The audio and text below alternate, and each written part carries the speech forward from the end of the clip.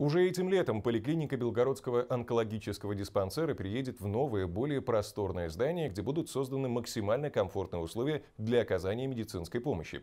Сегодня строящийся объект посетил глава региона Евгений Савченко. В рабочей поездке по областному центру губернатора сопровождала съемочная группа «Мира Белогорья». Слово Елене Труфановой.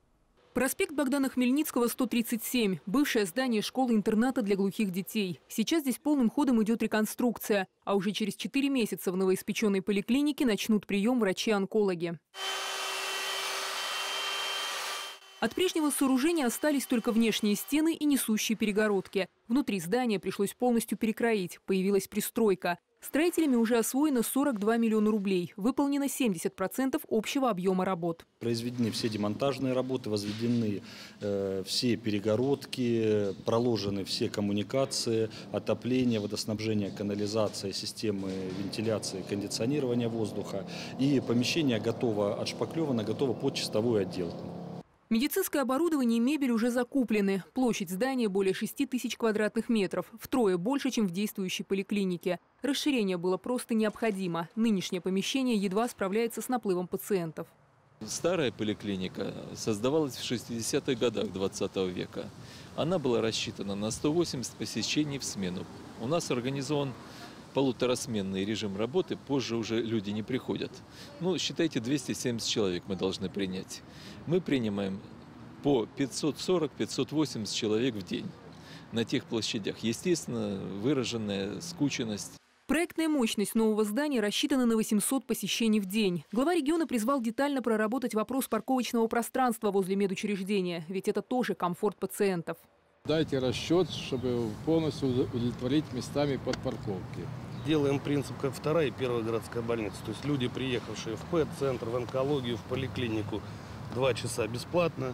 В ночь у нас с 20 до 8 бесплатно, поэтому резиденты, которые здесь живут, они могут оставлять абсолютно бесплатно. А в день, чтобы вот они не стояли тут сутками и неделями, тогда вот тут она будет работать как платная парковка. Познакомился глава региона и с работой Центра ядерной медицины в Белгороде. Он создан в октябре 2016 в рекордно короткие сроки. Здесь проводят диагностику 95% видов рака инновационным высокоточным методом, который объединил возможности радиологии и компьютерных технологий, что дает возможность получить наиболее полную информацию о заболевании человека, обнаружить мельчайшие опухолевые очаги на самых ранних стадиях, проводить диагностику рецидивов и метастазов. В центре оказывают платные услуги, а также в рамках выделяемых государством квот. В 2017 их запланировано 2500. А это уже опытный экспериментальный завод «Владмива». На протяжении более 20 лет здесь разрабатывается и внедряется в серийное производство широкая номенклатура медицинских изделий для стоматологии. Сегодня здесь реализуется целый ряд инновационных проектов, в том числе в фармакологии. Мы разработали оригинальную молекулу по лечению э, диабета второго типа. Так? То есть это субстанцию, мы прошли, да? Субстанцию, да. Мы прошли уже до клинику, успешно показали ее эффективность. Сейчас будем выходить на клинический испытания. Так, следующее. По болезни Паркинсона идет второй проект у нас. Значит, по, по болезни Альцгеймера третий проект и по сердечному четвертый. Сегодня же губернатор Евгений Савченко провел рабочее совещание с руководителями предприятий медицинской и химической промышленности. В центре внимания перспективы развития. Глава региона призвал активнее использовать потенциал импортозамещения. Сегодня для этого есть все возможности. Каждый из вас должен вот, четко иметь образ своего предприятия с объемом производства ну, где-то там 500, 1000 процентов вот, к существующему уровню наращивать и формируйте вообще такую школу, фармацевтическую школу крупного фармпроизводства на территории Белгородской области.